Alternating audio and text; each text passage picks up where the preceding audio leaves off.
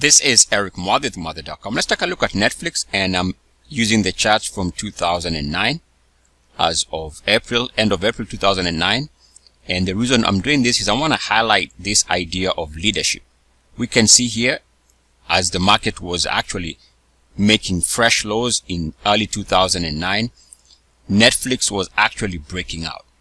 And so what it was telling us is that if the market was to stabilize, that this would be one of the leadership stocks in the new bull market. And we can see, compare this chart to that of the S&P 500, same time frame again. S&P 500 as of April 2009, you can see the market had gone into a severe bear market move. And in contrast this with that of Netflix, which had recovered by the time the market was making its lows in early 09 and Netflix was actually breaking out. So this was showing us that if the market was to stabilize, then there's, there was a good chance that Netflix would turn into the fresh leadership. And we can see this if you take a look at the long-term picture now in April of 2009, we're talking about right there. And that is at a pre-adjusted, I don't think it's a split adjusted price, but we're talking about under $7. And of course, in good time, the stock is going to trade as high as 400. So about 425. And right here, leadership breaking out above $7. Now that's good for almost a 5,900% gain key here is it broke out while the market was still in trouble. The reason why I'm talking about always be on the lookout for leadership is sometimes we can see the opposite.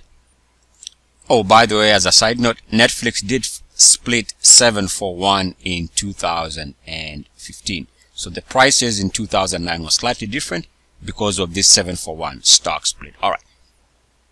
So as of November 2000 19 we are seeing the markets trading at all-time highs as far as S&P 500 is concerned.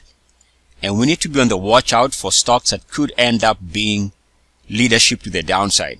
In other words if this market is to start pulling back at some point doesn't have to be tomorrow or this week or this month but if at some point this market starts rolling over in the months ahead we need to be very sensitive to stocks that could be leadership on the way down for example, take a look at ALRM, which is, as of right now, breaking below recent monthly closing lows. That's not a good look.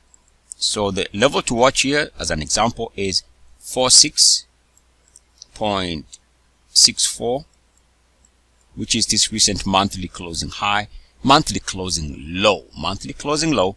But more importantly is what the RSI and MACDs are doing.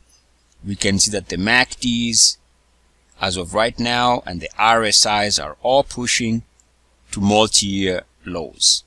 So the risk here is if the market starts reversing and the general market starts pulling back, stocks that are already trading at fresh 52 week lows could end up being the fresh leadership to the downside. In other words, if the market starts pulling back significantly, expect stocks like this to be really in serious trouble because there would be the new leadership on the way down. Eric Muathe, Muathe.com. As always, good luck, peace, and blessings. E, I see. S. Woo!